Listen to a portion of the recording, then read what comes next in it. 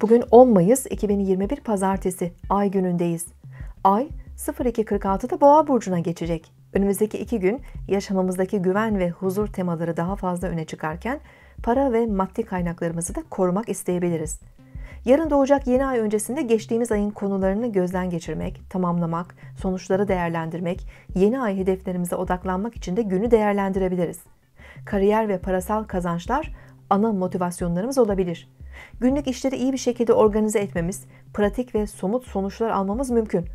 Gece saatlerinde ise Ay, Uranüs'te Boğa burcunda birleşip Yengeç burcundaki Mars'ta uyumlu görünüm yapacak.